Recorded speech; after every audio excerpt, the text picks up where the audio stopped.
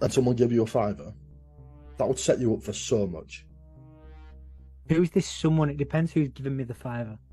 I don't. I'm not talking about you getting groomed. I mean, Well, you said either- someone's giving you a fiver. I used to walk home from school and go to the chip shop on a Friday. If a random stranger went, "Here's a fiver," I'd be like, "Perfect, I can get the chips Day and of gravy." now." learning, and after 13 years in government, you think that the Conservative Party would have learnt how to run the country. Callum, have they learnt yet? Hi, Callum Scott here, Bedlam reporter, uh, who was uh, Forest Stage live from the Conservative Party conference here in Manchester, where I currently am right now. Brilliant. No. Fantastic. Proud. No, they haven't. They, they haven't learnt.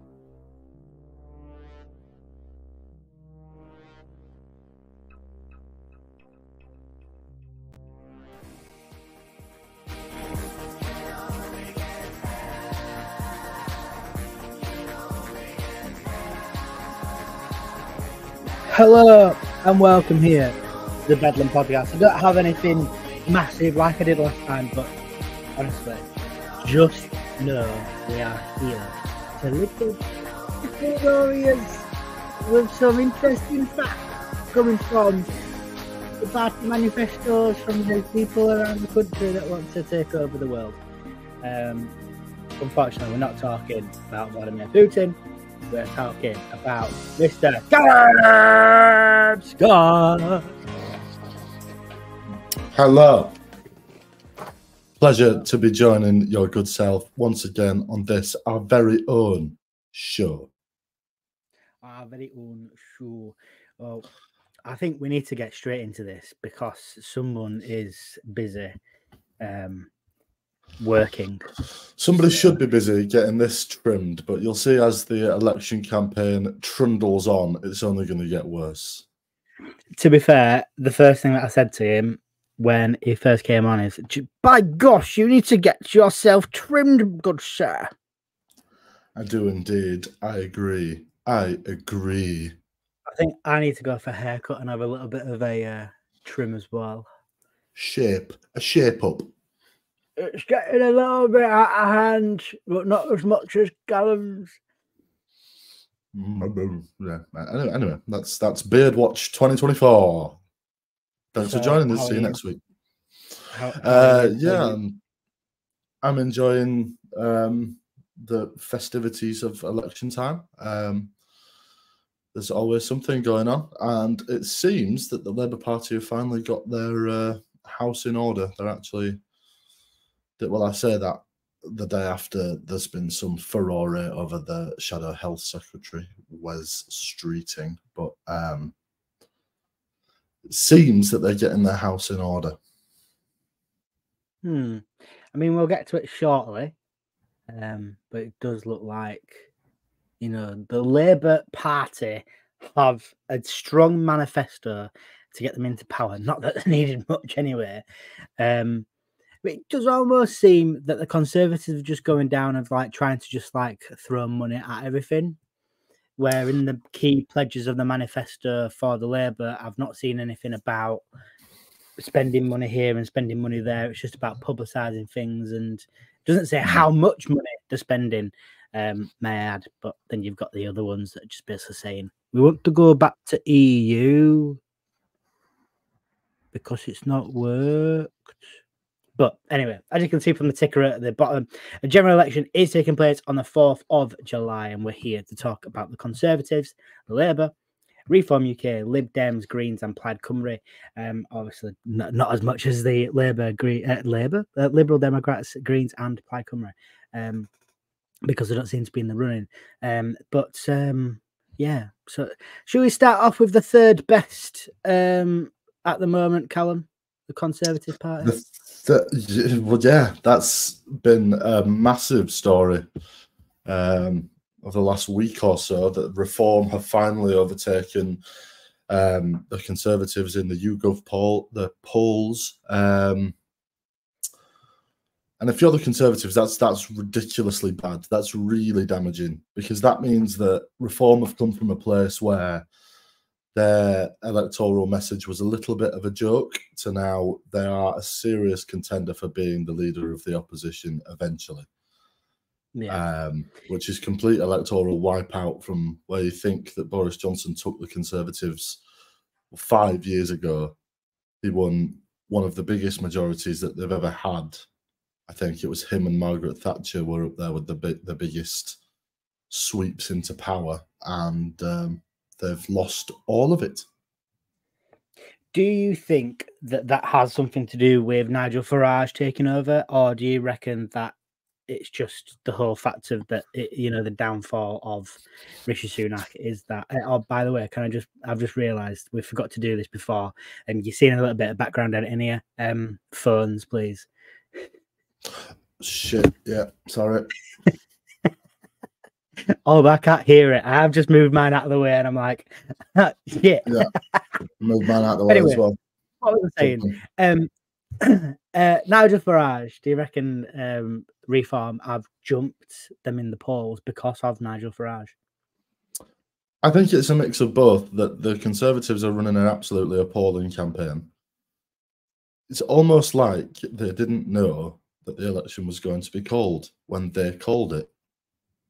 Like it's Yeah. taken them completely off guard. It's And it?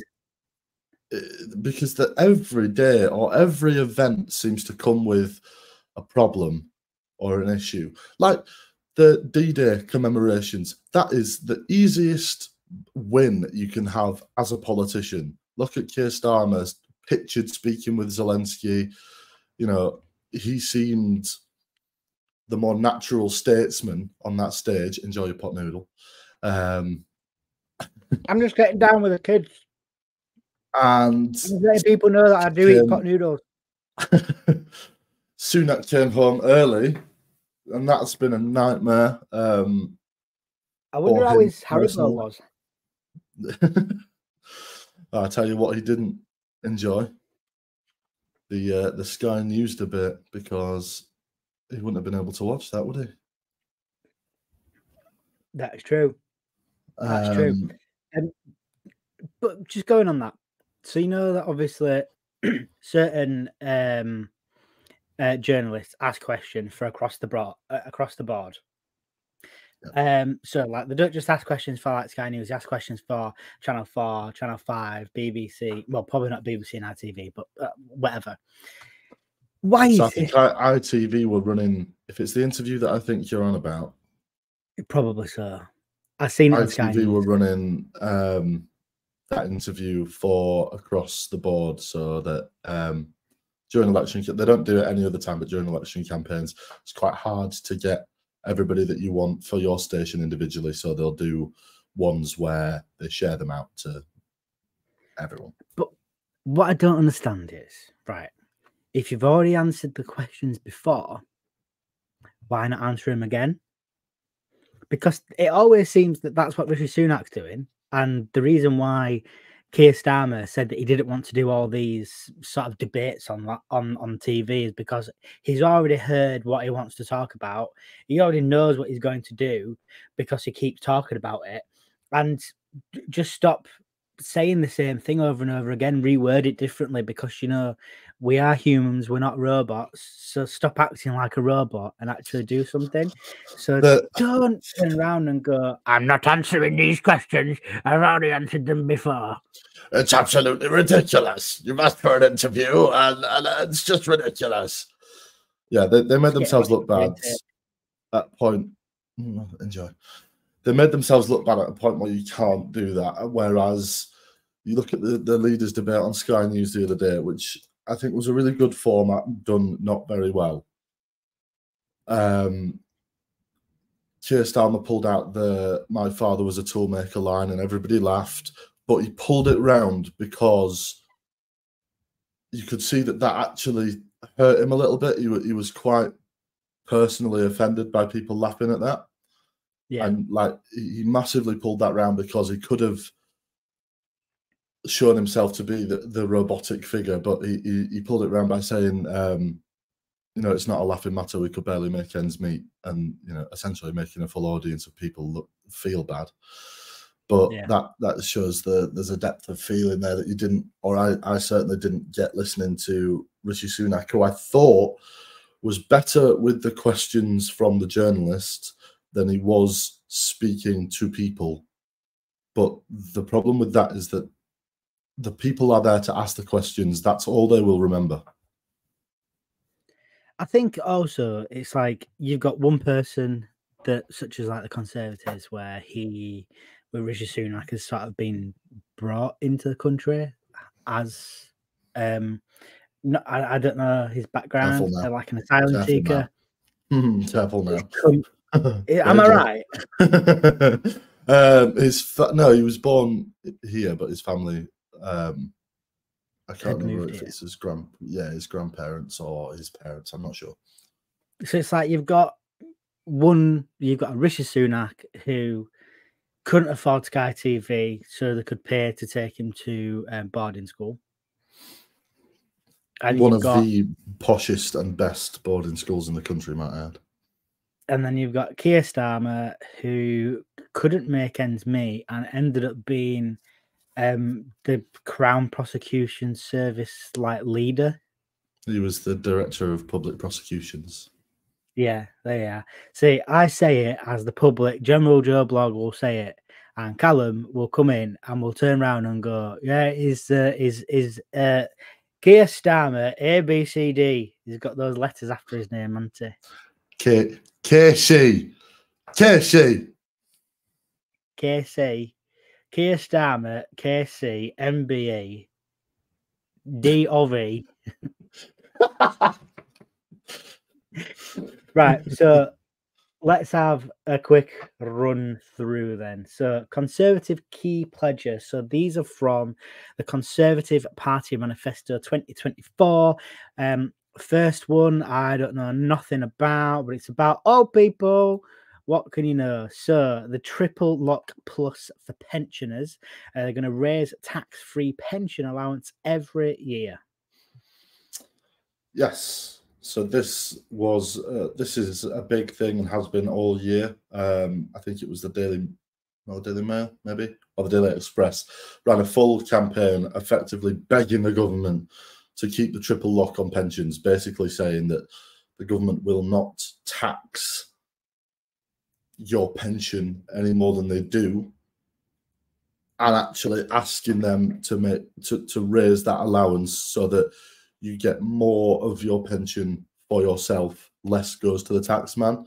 And the Conservatives have come out and said, yes, we will do that because they have the financial space to do it. They're already doing it. And it plays incredibly well with their sort of key voter demographic of old but gold, Yeah. middle England. I do agree with it because I don't think you should be taxed twice on money that you have rightfully earned. Like, Yeah. I never thought that you could get taxed on taking your pension out. Like, that This is your money. problem. You've been taxed already. So this is the problem, right? You've got tax at both ends. So when you mm. get your pay slip, the amount of money is taxed, and then your pension is taken out of it. And then at the other end, when eventually you draw out your pension, you're taxed again. So you you're losing out on two different amounts of money at either end. So you know, if I was an old person and knew how much was in my pension, um, I, I'd probably be quite annoyed about that. I kind of, I kind of do know what's in my pension because I've been changing pensions about and moving money about and stuff like that. And I think I might have ten grand. Nice. I think I've got about a grand. Yeah. To say that I've been working since I was 18 and I'm 30 this year, I have 10 grand in my private pension. That's not my national insurance pension, my state pension. Yeah, which is you sorry, sorry, sorry. I was watching. The, All the- conservative chatter, it's a bit boring, isn't it? I was watching the soccer ball, wasn't I? Soccer ball. Um, I was watching the soccer ball as well, but I was watching it in the niceness of my own home, not I a was, pub. in, I was watching it in the niceness of Huddersfield's greatest drinking establishment, the Plumbers Arms. Thank you. Um, but yeah, I don't know how much is in mind, but you think about that, right? Think about what you just said there. So you have this money that you've worked for, and then you have your state pension. But the state pension, what they don't say in the triple lock is that the state pension can be taxed more. So actually, you are losing out on money. I'm about to start ripping people's heads off. right. Anyway, next one. so, Callum, what have you done recently that's a big, massive life change to you? I've recently moved home. Fantastic. That takes us on to the next one. So they're going to put 1.6 million well designed homes in the right places. No, I haven't apostrophized that. That's how they've done it. Oh, Take it in. in. Take it in. Oh, In the right places. What does that mean? Um, Does that mean that you're going to build not putting it 1.6 on million, Bob's Out Road. 1.6 million houses in places where you haven't let the crime get out of control by underfunding the police? Is that is that what that means? 1.6 million well designed homes in the right places, which is probably 1.6 On million well-designed one- homes essentially means 1.6 million homes that have a roof. that swampland out road of you know where they said over here they can't build houses. That seems like five years later best place to build an house. It's not safe, but well, it wasn't then, but it is now. It it was it was it was. Um, uh, let me click this one to briefly go over it because we did talk about it a lot um the other week. Um, national service for eighteen year olds. Not Some happen. people say it's a good. Some people say it's a good idea. Some people say it's a bad idea. Yeah, okay. Kind of think it's a good idea, but if you're going to make 18 year olds do it, then you need to make everyone do it. You need to have, when you're announcing big policy like this, and I'm doing the hands because it's irritating, right? You need to make sure that everybody in your party knows the line and toes the line. You cannot have your prime minister going on television and saying, We're going to make 18 year olds do national service. But if they don't, then that is fine. You have the choice. And then have whoever it was, I think it was Miriam Cates, I don't believe she's a cabinet minister anymore, but I'm not sure, going to a campaign launch in her constituency and going, Yes, there will be consequences for those that don't do it we are in a snap election. People do not have time to go through this shit and learn it. Learn the lines. Hang on, I'm trying to work out how the next one works. So do not point not two divided by 3. So over the next few years, the so year it's going to be like sixth of a pence that they're going to cut national insurance by every year. Yeah, that'll really impact your pocket.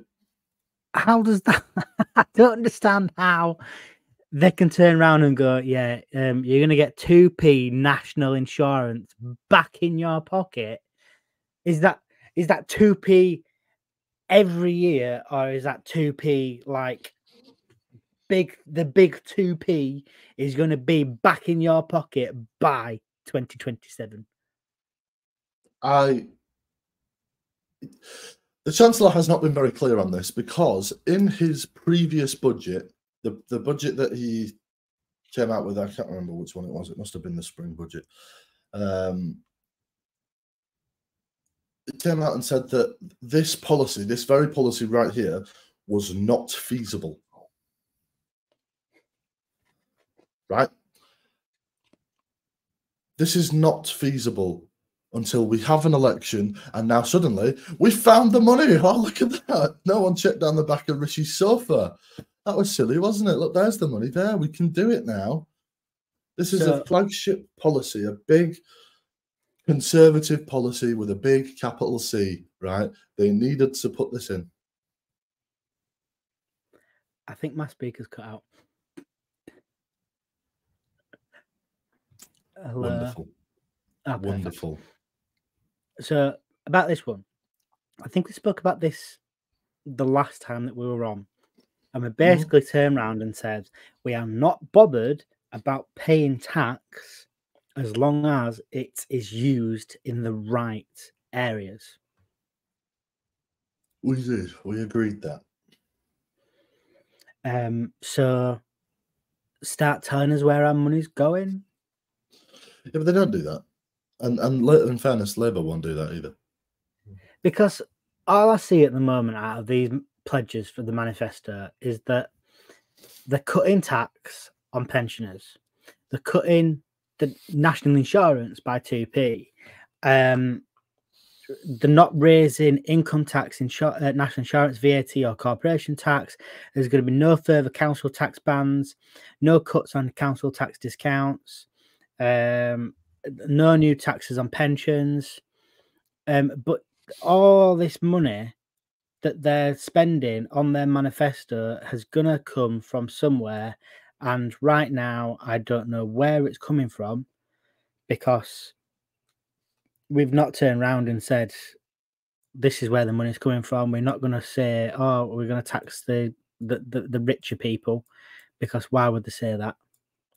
So when George Osborne was Chancellor, there was a lot of talk about him and David Cameron introducing uh, stealth tax, yeah. Which is essentially tax that you don't know that you're paying, which is where Yeah. quite a lot of the money can come from.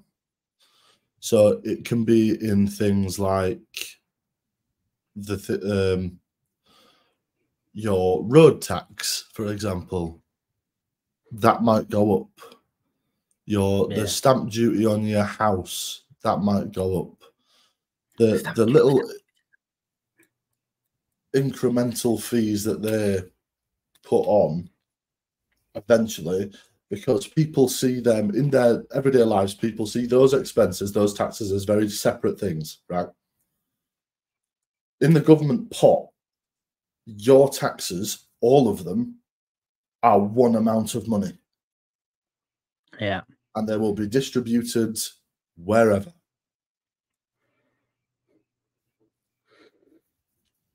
Next, more spending.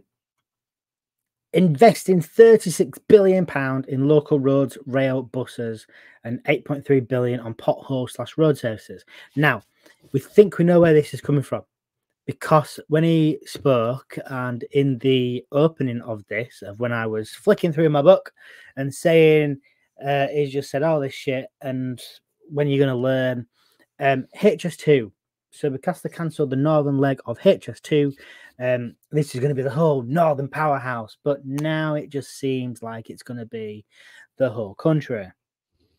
Am I right? Yeah. Yes. However, there are two problems with this. One is with the funding, the other is with the policy generally.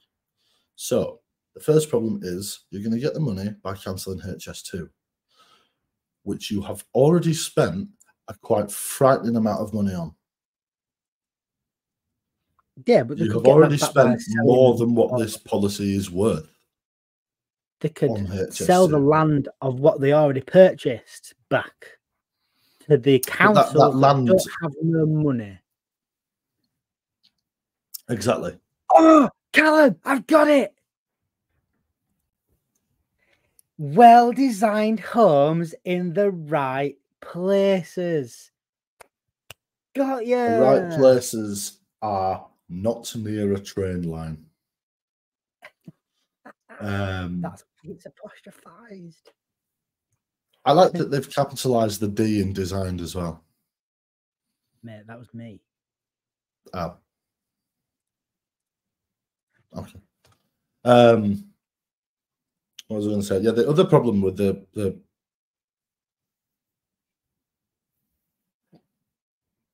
Look at it now. Ah!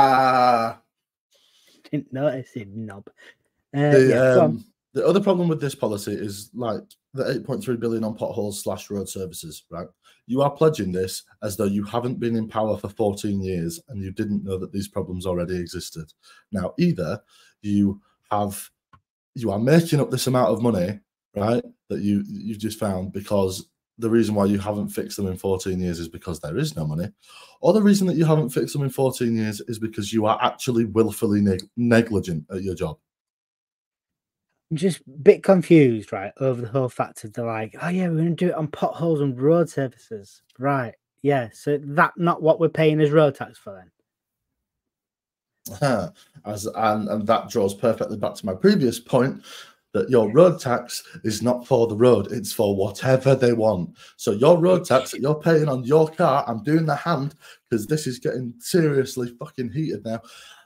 The road tax that you're paying on your car that sits on your drive, right, is probably going on spending bullshit flights to Rwanda.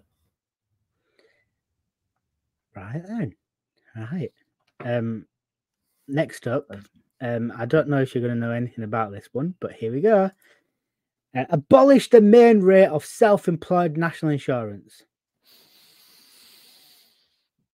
Yeah, this is uh, um, yeah, this is uh, a silly policy. Okay, next, Labour. Oh no, wait, no, we can't do that.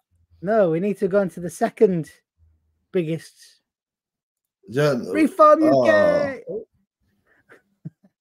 All right, so it bring on the election. Did they make this or did you make this? uh, they made this. So This looks like something that I did to present my work in year four. So I was going through um the uh, I was trying to find a place where all the manifestos were in the same place, um, and couldn't do that.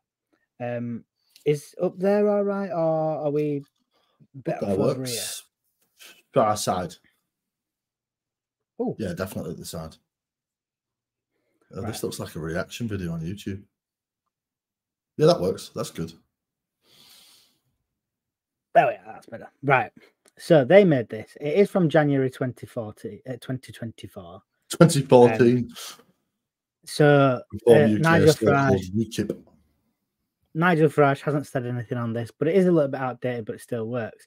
So, stop the boats. Uh, said that they failed.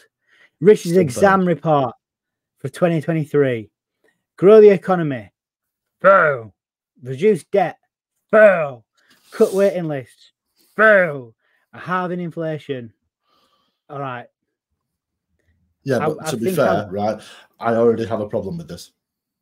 Half a mark. He hasn't halved inflation. Economic events and situations abroad have brought inflation down. It's nothing that the government have Yeah. actually done. Exactly. Half a mark. Half a mark. What's next? We're reading this as we go because I've not actually seen. Oh, we're jumping ahead of it. I've not actually uh, read this properly. So if there's something wrong on here, don't come from it. This has come from the Reform UK website. Um, right. So Tories and Labour's two sides of the same social coin. Right. I broke Britain. I bankrupt Britain. All right, Callum. Yeah, fine. All right. Yeah, fine. bedtime. I'm actually terrified by what I'm I'm looking at. That's Yeah, so- sleep- that's my sleep paralysis demon. so go on right so tell us you've been watching the whole um debates and stuff like that how does um, I like that. Sorry, go on. how how does uh, Nigel Farage come across and the whole reform UK um at the moment So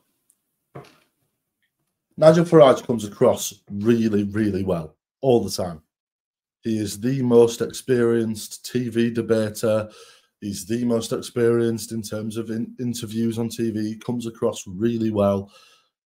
However, their policies really don't translate to every demographic. You know, you- you're going to get a lot of the key conservative voters voting for them because they are saying all the right things. The problem is they are saying these things and they are not saying how they're going to pay for them. Right. So, So they're gonna try and find the money when they get there. so it looks like what they're going to do. They've called it, like it says there, ambitious reform. So, tax relief of 20% on all independent healthcare and insurance. If you can pay more, let's encourage you to do so with tax incentive. That isn't a choice that you make. I don't choose how much tax I pay.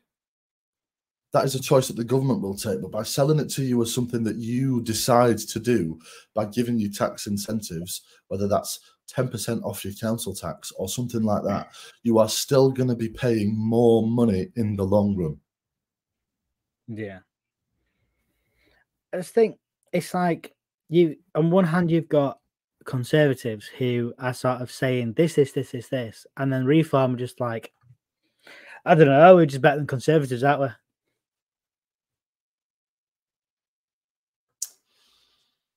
we? So, uh, right, the issue with the manifesto for reform is that it's completely contradictory. You've got Nigel Farage going on television and saying we need to stop the boats, we need to stop immigration, we need to cap immigration now. And then you're saying, with regard to the NHS, we're going to recruit X amount more people. Where do you think those people are going to come from? Mm, There isn't enough people in this country right now that were born and bred here that would want to do that job. Plus, it would take years to train everybody up. Whereas if you've got somebody that is migrating from a different country that wants to come here, that already has the qualifications in order to do the job, why would you stop that from happening? I mean, I think that there, right, is sort of what you're looking at. So Mm. ever since like they're trying to cut not not just cutting like immigration like full stop, but making sure that it's done in the right way and trying to get rid I don't think right stopping the boats is not exactly the same as stopping immigration. Stopping the boats is stopping the crime that surrounds risking people's lives for a better life. Yes, okay, I'm all for moving to a better country where people are going to look after you, although we're not really being looked after with the amount of taxes and stuff like that that were getting thrown on us and shit like that. You mm. know, NHS waiting times are at a record high. You know, they need to come down, and the way to do that is by getting skilled people into the country to help bring those waiting lists down. And So where that- are all your doctors coming from? Where, like the the one of the countries of where all doctors and nurses come from is um like n- like the Middle Easty sort of countries, isn't it? Yeah. And like, so at why so- not open it up? Look at what Farage said. Um, I think it was on the ITV debate the other day. He was saying that students can come and study here, but they shouldn't bring their mum. Now, what if, and I put it to you like this: if if their family wants to come and live here, what if their mother is a qualified nurse or a doctor? What? Why are we?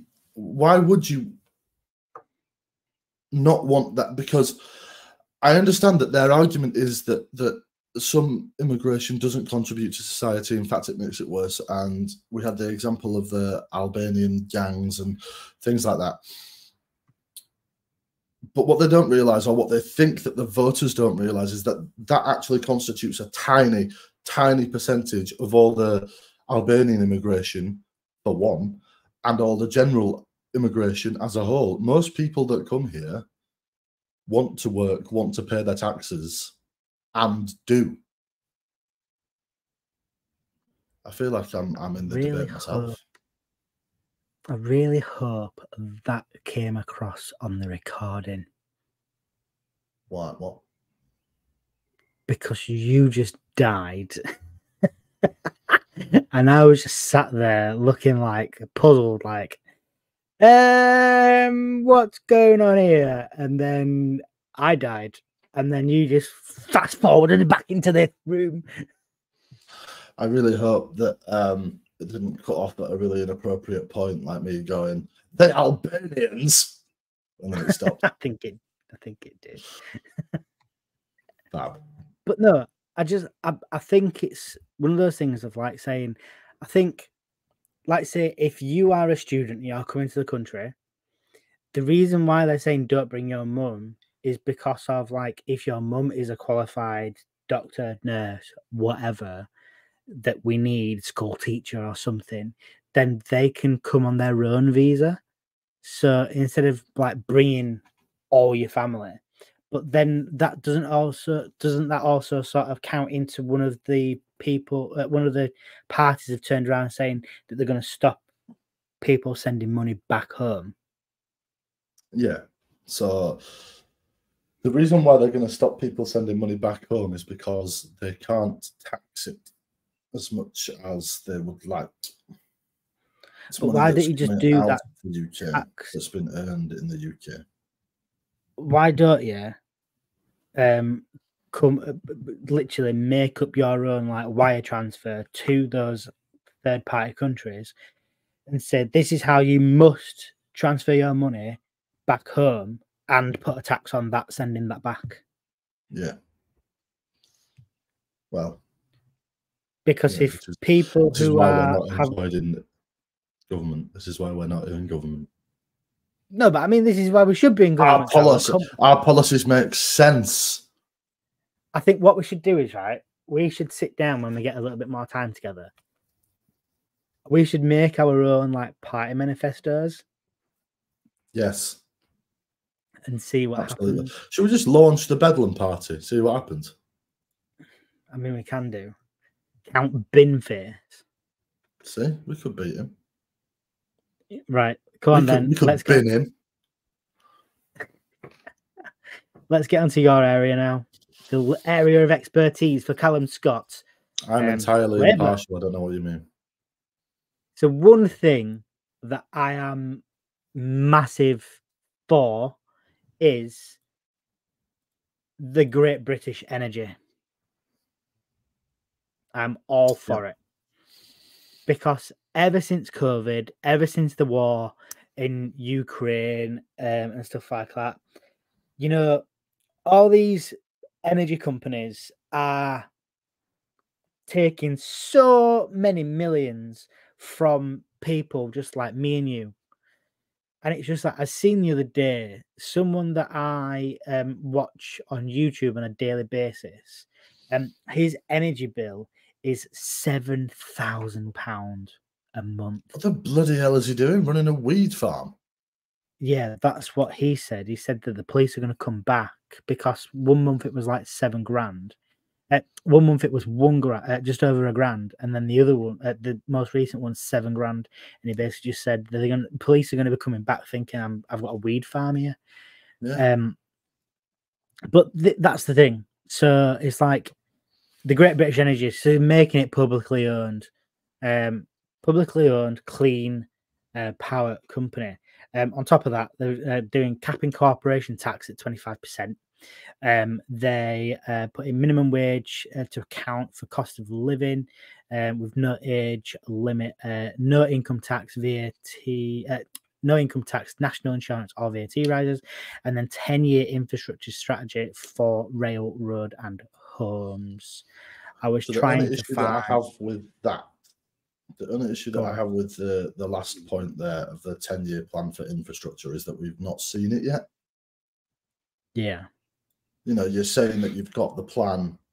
I would like to know what the plan is, and maybe that's coming a little bit closer because you find that people keep these sorts of policies in their back pocket. They will go to somewhere where they know that the roads are bad, and they will announce Yeah. something like this.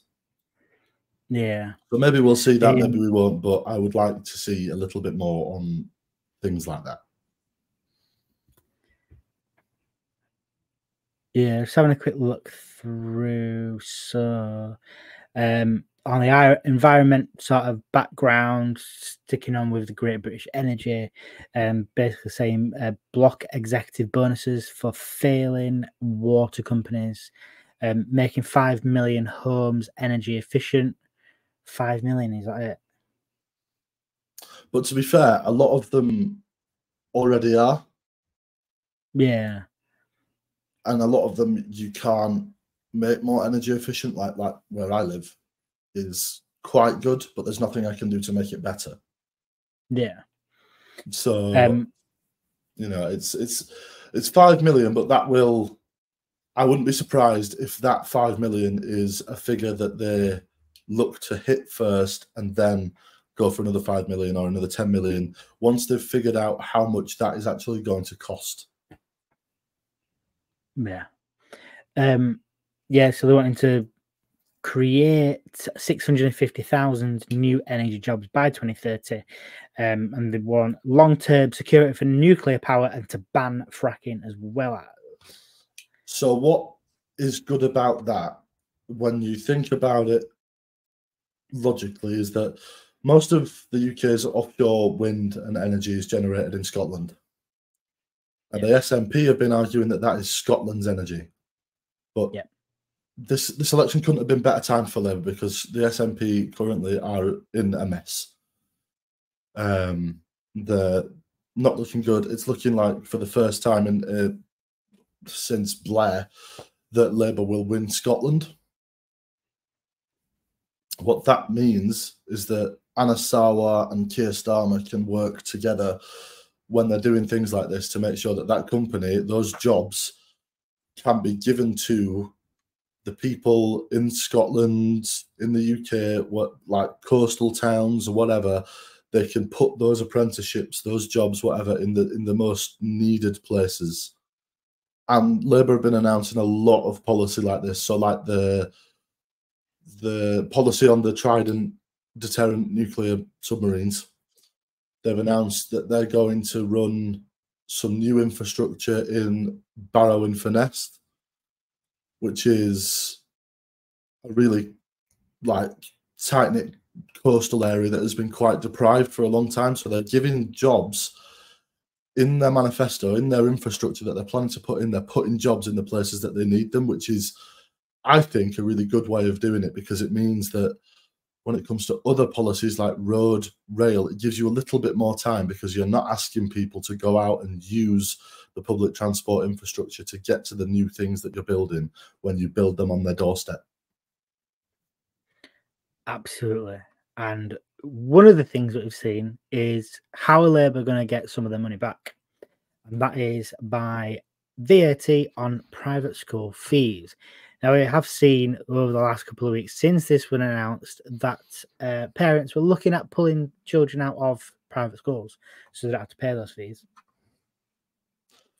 Yeah.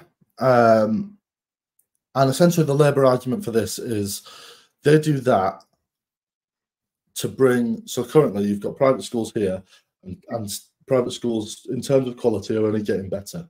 Things can only get better. Um, and state schools are going down, and the, the the the gulf between is becoming bigger and bigger. So what they're going to do is VAT on private schools brings the private schools down, brings the state schools up, but it's still not going to be a level playing field. So you are still getting what you're paying for. Yeah. But what if that the the quality of state schools can get better, which the massive majority of children in this country use. Yeah, and you're going to get then better children down the line that are going to have bigger brains, unlike me, um, and you're going to be able to get them into these skilled They're jobs. thinking in they're thinking in eight dimensions. They're playing So- 3D chess. With um like staying on the schools like education sort of piece of it um so instead of um a national service for 18 year olds labour are going down the route of uh, training apprenticeships and help to find work for all 18 to 21 year olds which is obviously um, better than what we've got at the moment, or if not, you know, along the same lines, because it has changed a Mm. little bit over the last recent few years. Since like since when I was in school, um, all those years ago, um, where you couldn't just leave um, year eleven and just go straight into a job. Um, you had to go into further education. Um, but you could do that through apprenticeships and stuff like that. So it is sort Yeah. of similar but different. Yeah, it's making me cry. Um, so Um, the, the so- Go on. the apprenticeships thing is a good a good thing because what you'll find with quite a lot of these policies is, is that they tie in with each other. Yeah. And that makes it easier for the government to deliver on their promises because you can say we're going to put a thousand apprenticeships into the new Trident scheme. We're going to put two thousand apprenticeships into Great British Energy. You, you're helping yourself with your own policy. Yeah. Absolutely. Um, so they're going with a hundred thousand new nursery places, um, free primary school breakfast clubs, because obviously um they're going down the route of training more UK workers and banning employers from recruiting from overseas as default. So that would mean that more people that are uh, um, United Kingdom citizen um, will get jobs, and obviously not knowing what sort of time frame that they work on, those free school breakfasts will need to be there. Um, 3,000 primary school based nurseries, um, which I don't know what the difference is between a normal nursery and a primary school nursery, but there you are. Um, So a primary and school also- nursery is a nursery that I went to, which is yeah, in the school as well. we're going to be going to, whereas a, a Yeah. nursery on its own is like you go there before.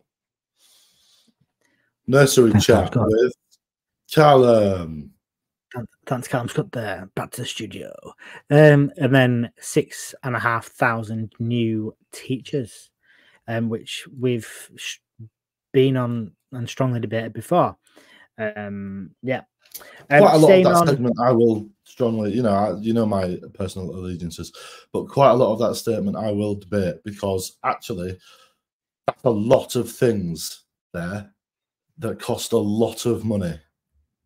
yeah, and nowhere in the taxes that you will not raise have you said where the money is, that sort of money is going to come from. You look like you've Oh, yeah. seen something that you absolutely despise. No, I just broken the website. I'm trying to scroll back to the start, but my thing was still clicked on the bar at the bottom. So every time I moved over to this screen to click on the next one, it kept flying all over the place. Right. Anyway, staying on with kids. Um, votes for 16 year olds. Yes, I'm conflicted about this. Uh, I think it's always been strong, um, because they tried to do this when we were in primary school, uh, not primary school, high school. Yeah. Um, and when we did it, I think it was when the Conservatives were coming into power. So yeah, it would have been 14 Yeah. years ago. Um, so it would have been the the the leaving of Labour and the introduction of um a nice brand new Conservatives under David Cameron. Goodbye, Um, Gordon which- Brown. Here is a shiny David Cameron that he had to get his way in with the Lib Dems. which went very well. Um, Here's David Cameron and Nick Clegg.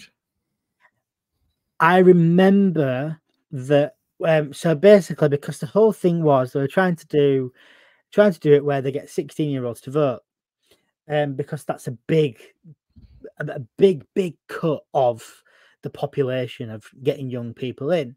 And the reason why you want sixteen-year-olds to vote is because in five years' time, that sixteen-year-old is not going to be sixteen no more, and is going to be in your bracket of 18 to 21 year olds of getting a job. And in high school, the, the school went, you know what?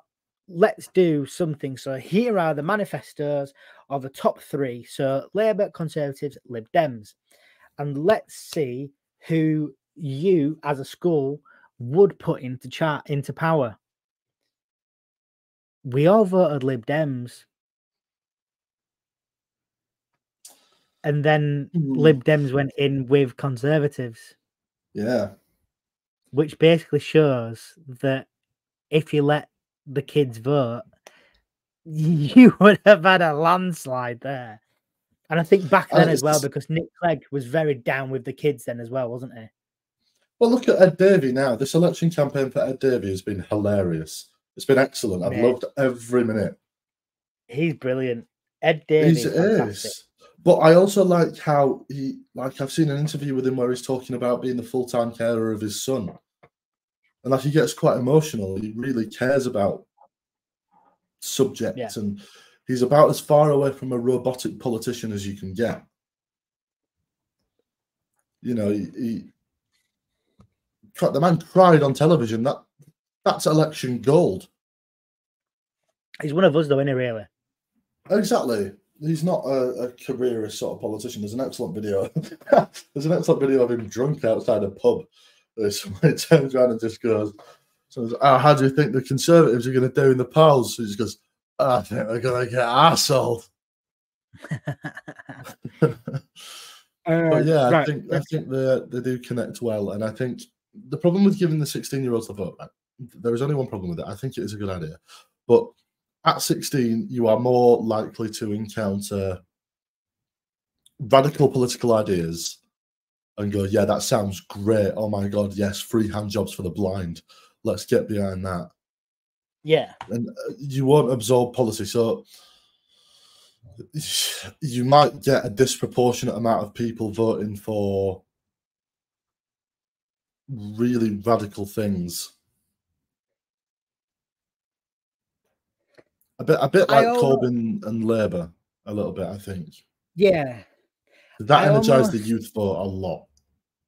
I, I almost want to go down the route of basically saying like if you get 16 year olds into vote, you need to literally let them know that whatever the key pledges are, it's not there. They are prone to lying to you, and y- you're literally gonna get led down a line of this, this, this, this, this. You need to be very not very knowledgeable but you need to have a little bit of knowledge about you to know that you know if something looks too good to be true like hey free wi-fi um you know Hey, let's get rid of tuition fees. hey let's have mcdonald's on every street corner oh wait there is Oh, that's already happened. That's Oh. part of the 18 billion new homes. but yeah you are going to be led down a yellow brick road and Yeah. literally someone is going to be holding your hand going hey come down here let's see what we've got and it's just going to be a load of shit policy policies um that no one's ever going to action over five years 14 years sorry oh bit of cough's getting bad. Oh, Um. Right, let's move on away from that. So, um, Labour want to devolve transport, skills, housing, and planning powers to local mayors. Um, on top of this, I have just been having a look, and housing, um, they want to uh, make it easier to get permission to build. So I'm guessing Yes. that's where this will come in as well. Yes. And I think that this is one of the best policies in the manifesto. Because Mm. look at the examples of devolved administrations that we've currently got and look how well they're doing. Manchester now has public transport back under public control, which means that all of the buses run on time all of the buses are one price no matter where you're going and the fares cannot be put up without consultation the houses are being built to schedule and everything is done with the area's best interests at heart like Andy Street in Birmingham. I know he's recently lost lost his seat as the mayor of Birmingham, um, Conservative mayor, but was very good for Birmingham. You know, we've got the Commonwealth Games, got the City of Culture. There's a lot of things good with devolved administrations, and they do work.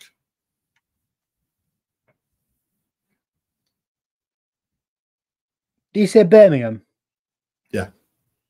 Isn't that and and and the Birmingham City Council that are now bankrupt? So the Birmingham City Council is different from the mayor. Yeah, but isn't that still the pot that he puts his hand in and says, "Hey, this seems like a good idea"?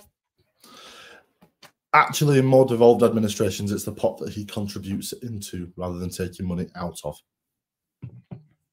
Oh, so he's not putting no money in. Right, got it. Yeah, well, pretty much. Or no, to be fair, the council have spent more than what he's put in. Yeah. On ridiculous Um, things like thicker truncheons for policemen and shit like that. So under the housing bit, I was wanting to find like a transport bit because I think that Labour and more about the transport sort of side of stuff as well as, um, Yeah. but couldn't find anything on it. Um, so um, they want to make it easy to get permission to build. Um, so whether that's houses, um, buildings and stuff like that, whatever. Um, they want to end no fault evictions immediately. Um, they want to stop developers selling new flats as leaseholds. Um, so that's one thing that you probably knowledgeable knowledgeable about, and I've seen a couple of times. So Mm. leaseholds are different to freeholds. So if you're looking at getting out on the housing market, leaseholds is where you've got to pay a certain amount of money each year towards the building maintenance. Yes, side of it. and that money does not have a cap. Yeah. That can be a ridiculous amount of money because you're at the behest of whoever you're paying the money to, to for the amount. They work it out. They just tell you, and you have to pay it. Um, and then they want to build uh, 1.5 new homes. So that's different. One and a half to- new homes. they want to build 1.5 new homes. 1.5 million new homes. We've built one and a half new homes. This one doesn't have a roof. Is that what I said? Did I say one and a half new homes? Oh my god, I'm so sorry. They're taking blood from me today, and I just can't think. Um, so that's under the 1.6 million well-designed homes in the right places, but also the 1.6 million well-designed homes in the right places was on the key pledges was it? Yeah, key pledges for the Conservatives. It's not on the key pledges for Labour. Let that sink in. See, now that can be viewed as two things. That can either be viewed as a bad thing because they're not committing to it, or it can be viewed as a good thing because they're unaware of whether they can afford it. So they're not going to put it as one of the key pledges. Whereas the Conservatives are unaware as to whether they can afford it, but they've put it as a key pledge, which is a dangerous game. hmm Um, and then the last thing on the housing for Labour is that they plan to build new towns. Quite generic, but I can see how that might work. What with the infrastructure that they're planning again, GB Energy, Trident, new missiles, and things like that. You know, they're, they're putting everything in place to be able to do that. And if they want to put some new towns in certain areas where they feel like they would benefit from the jobs that they're creating, and that's probably quite a good idea.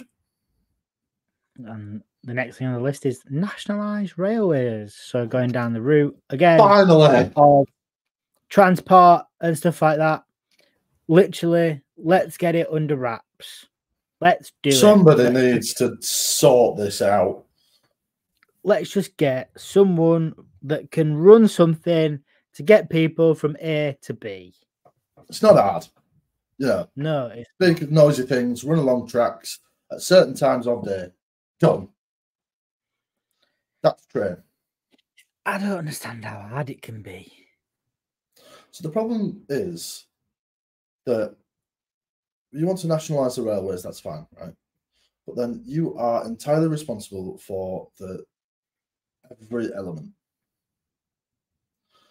Which is fine. It's happened before and it's worked before. And when things go wrong, things like the railways get taken back under public control because it works. The problem is we don't know how much money is in the pot.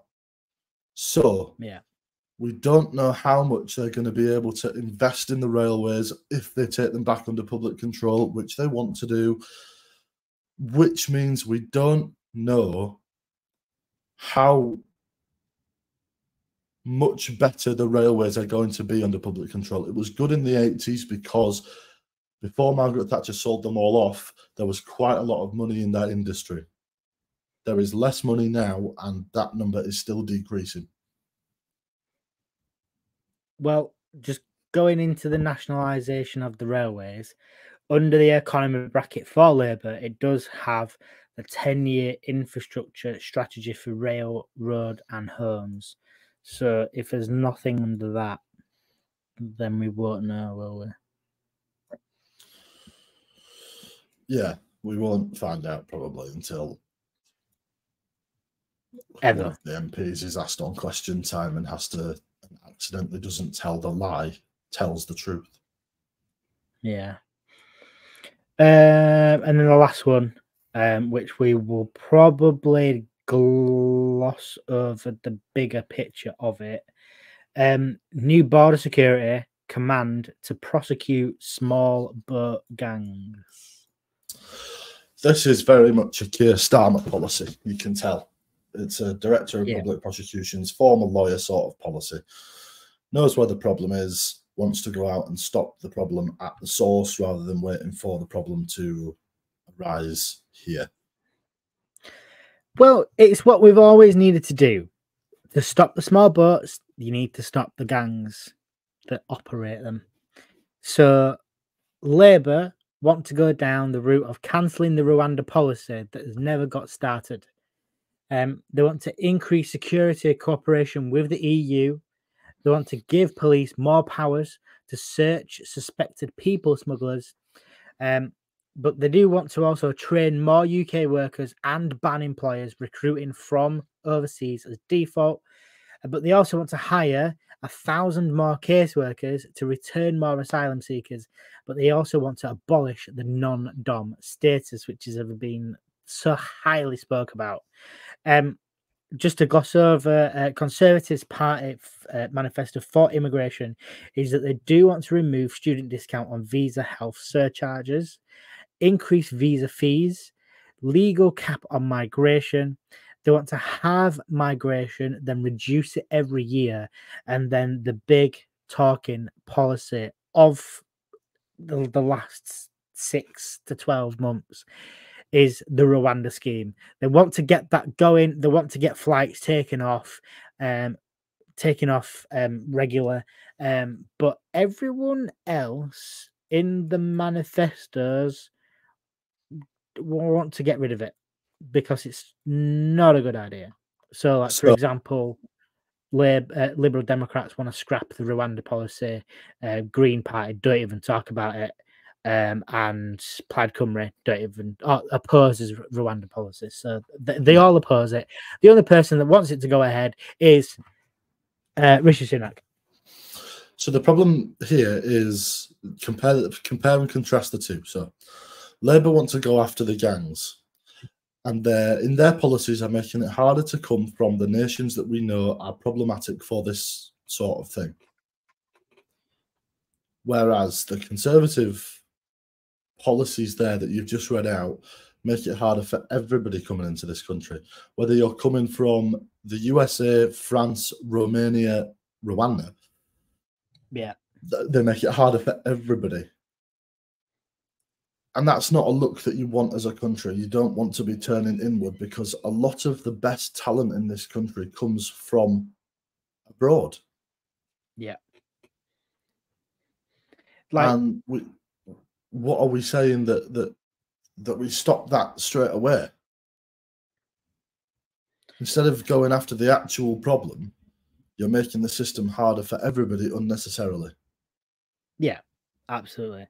I mean, I think you wanna get if you're gonna make it harder for everyone coming into the country, then you need to make it easier for um, people of the United Kingdom, citizens. Uh, you need to make it easier for them to earn those skills to be able to become what you want them to be. Exactly. And there's not enough infrastructure in the Conservative manifesto to be able to do that. And there's also not enough um, influence.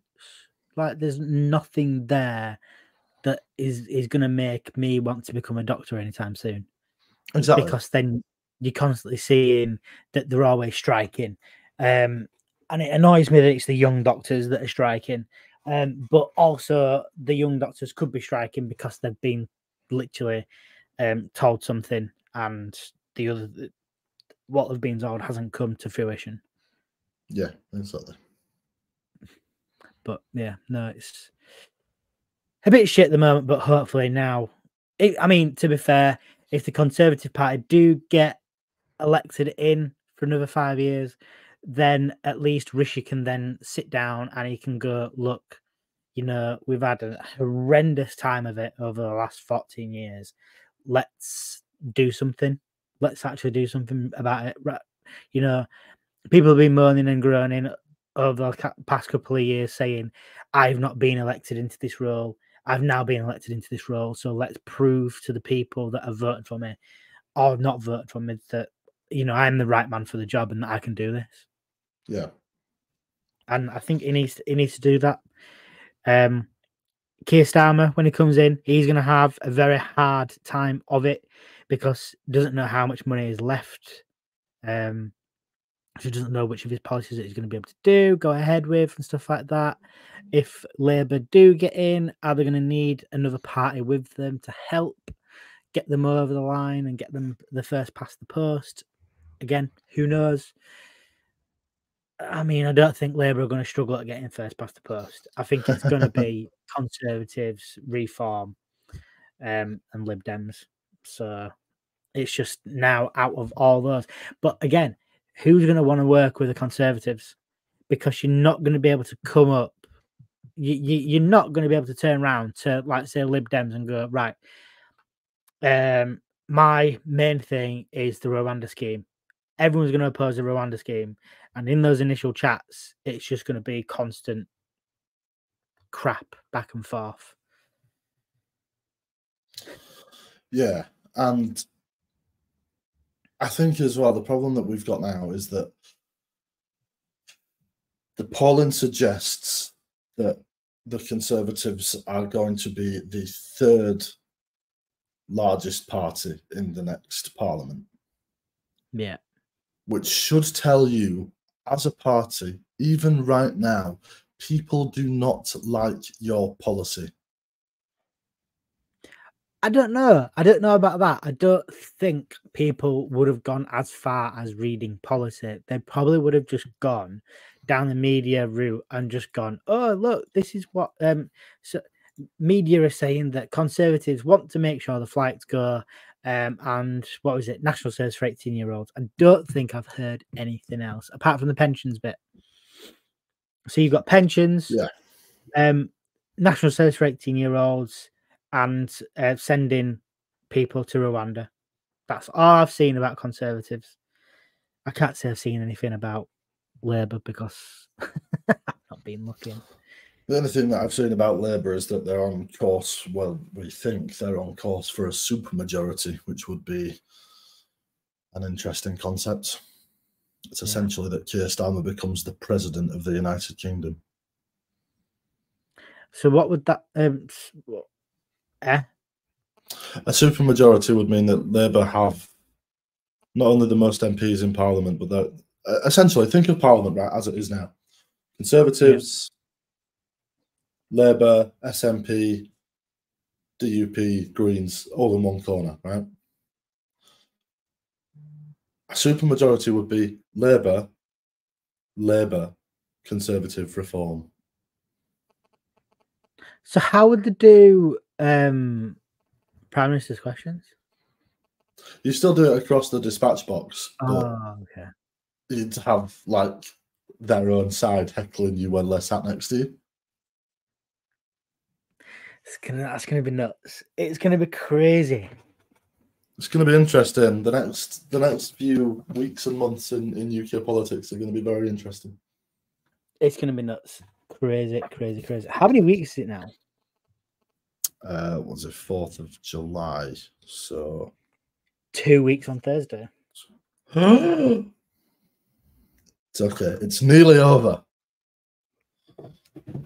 It's nearly over, everyone. These TV debates that are getting in the way of Emmerdale and EastEnders, that it's nearly over. We can all get back to whatever we want to do on an evening.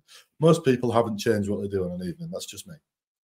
It is nuts. Right. Let's just not forget the others though, because I mean you did say that you liked Plaid Cymru.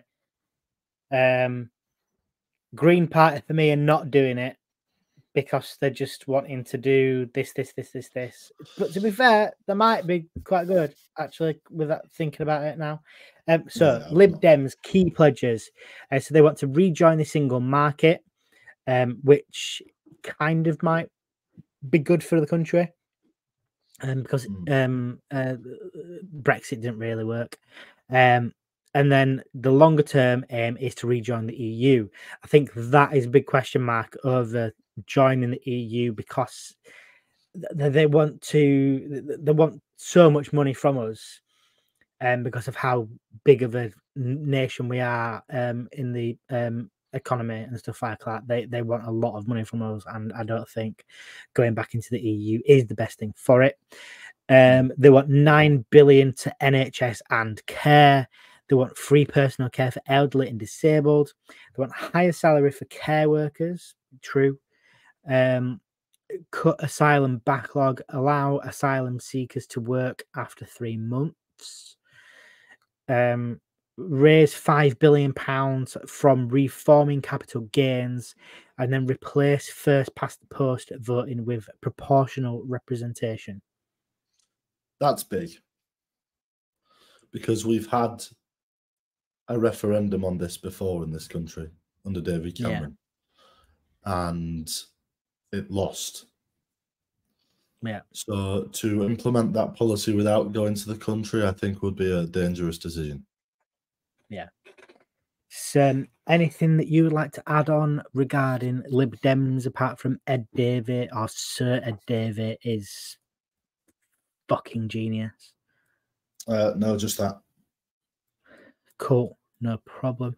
Just having a quick look through. Can't see anything else I want to talk about. Right, Green Party. So their key pledges are wealth tax. So they want to do one percent on assets above ten million, and then two percent above one billion. Um, so that'd be a lot of money into the pockets to pay for everything that has happened and happening. Um, Not eight enough to pay for their manifesto, though, which is Yeah. very expensive. um eight percent national insurance on income above fifty thousand two hundred and seventy pounds. Um, fifty billion a year on NHS by twenty thirty. Um, twenty billion for the care sector. Nationalise water, railways, and five big energy companies, and a four-day working week. Good luck trying to afford all that. It's already nearly a hundred billion in the numbers that we know about. and Plaid Cymru. Um, so they want to put. So we are reading this before, and I was like, it's very Welsh, is this, isn't it? They want everything for They are Welsh nationalists, to be fair. Uh, so they want to put four billion pounds owed to Wales from the HS2 uh, into public transport. So is that for just Wales or for the whole country? Just Wales. So they want to put four billion towards Wales. Hell yeah. Well, you're not going to be gonna, Wales is going to be going about on hover cars while we go back to steam trains. Um, they want to equalise capital gains tax with income tax. Um, Wales That's to have a better spin. Sorry, that's a better spin on the Greens policy. That's a more affordable way of doing that, and I'm not sure why the Greens haven't done that. Fair enough. Uh, Wales to have full control of um, economic decisions. Freedom. Uh, in that Scotland. Yeah, it's fine. Uh, and the nationalised care services. Um, and then they want to take full control of the Crown estate because they couldn't think of anything else to put in there. Yeah, they're just sitting there in a room. Like, then we have to hit a thousand words. I can't think of any more policy. Oh, Free- the town Oh, estate, of Plaid course. Cymru want to put a VAT on private school fees as well. Yeah, they are quite closely aligned with some Labour policies in that they are quite socialist. Um, Green Party, health, end new HIV cases by 2030. Get rid of HIV. How? how We're going to abolish STDs. They want to that abolish will- Ofsted. Yeah, I know that's that's wild.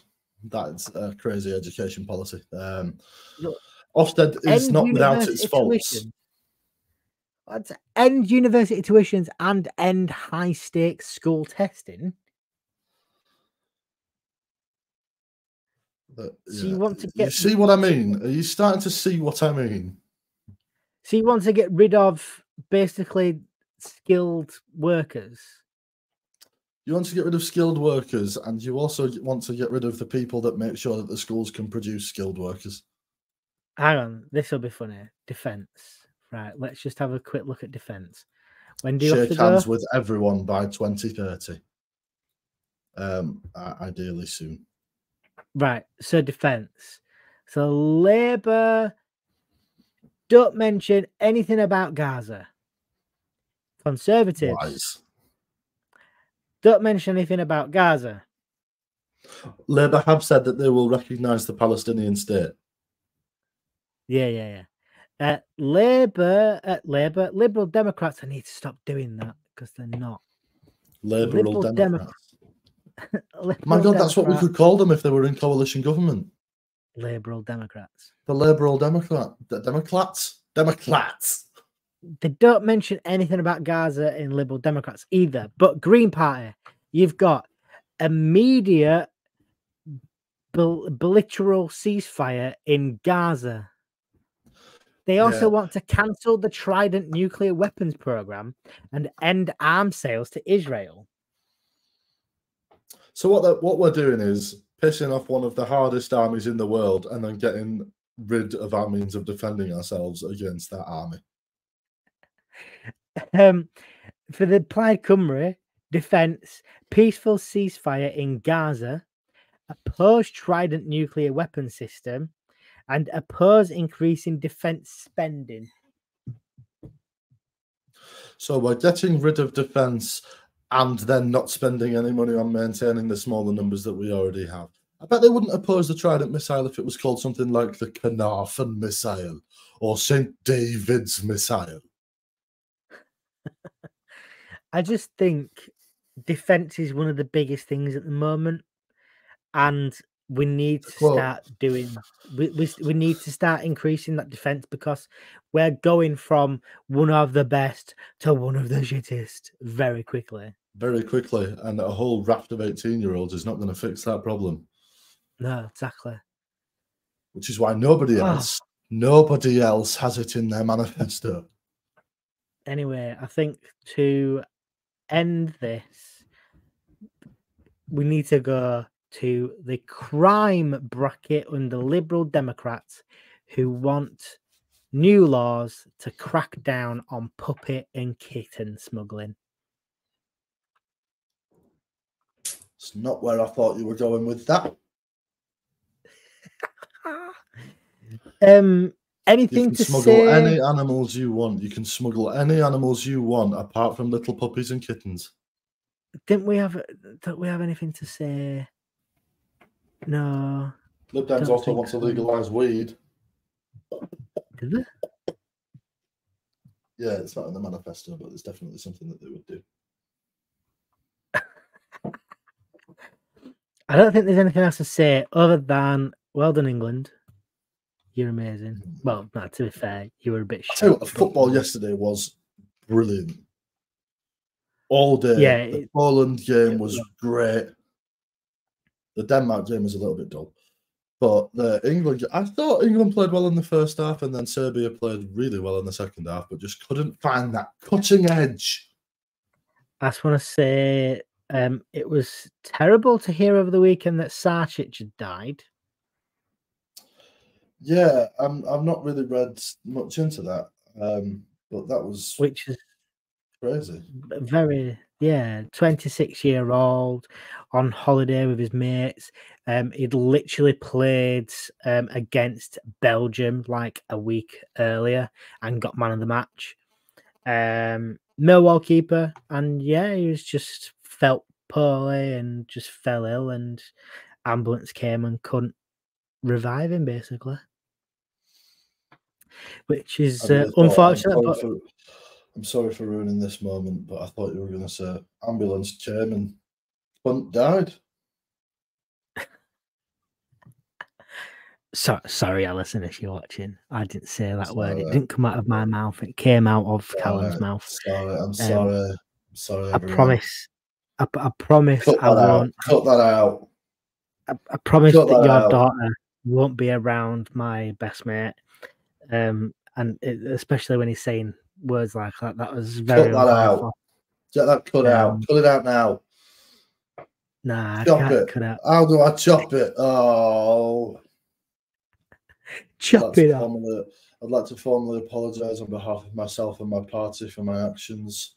I've let down myself, my colleagues, the electorate, and the voters of the future.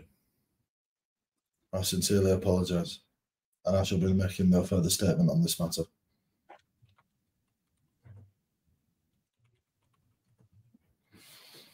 I will take any questions now. Hang on.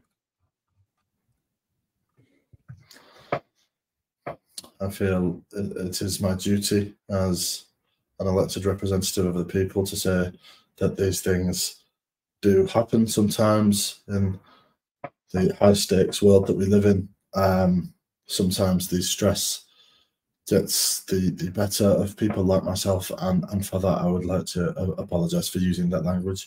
It's not language I ever would use normally.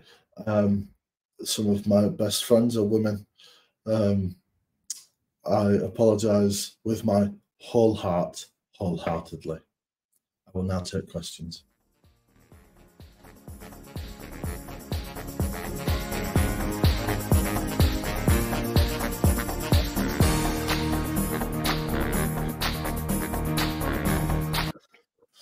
If anyone says that I am not taking these allegations incredibly seriously, they are incorrect. I refute that claim. Oh Jesus! Right. Anyway, go on. You need to go and get yourself off to work. Yeah. Uh, I also just want to say, um, if people are still here and watching our nonsense, um, I'm back to posting on my blog, tomshead.space. Um, and I think Callum's doing a lot of stuff as well. I'm doing the politics, you're doing the Menti H. Carry on. Menti H. Yeah, yeah, yeah. Menti H and not feeling too great. So I had my blood to- bloods taken this morning because I got told that my eyes are 80 years old. Yes, I went to the opticians last week and they basically said to me that I have an Arcus ring and it's only seen in uh, people who are like 60 and above. What is it? Uh, I think it- it's in my letter. It said something along the lines of that I shouldn't have it at my age. Right. Uh, so I think it's something to do with like cholesterol and stuff like that. So I basically, I think uh, I just need to stop eating and stop drinking and just eat cardboard. Stop living. Fucking hell. This is my lunch. Oh, lovely. I Hmm. enjoy that. On that note, I believe Anyway. it's time we got the fuck out of here. Thank you Yeah. very much. Got the socials down in this corner here. So go follow us if you want to go follow us, and all the links are in the description below. If you're watching on YouTube, um, Facebook, you know where it all is. It's all in the end title. If you want to go listen to it instead of watching us, you can go to Spotify, Bedlam YT, and then also YouTube if you've not found us, Bedlam YT. Easy peasy. Thanks very much. Auf Wiedersehen. And uh, come on, England. It's coming home. No, come on, Georgia, my boys. Coming home. It's coming home.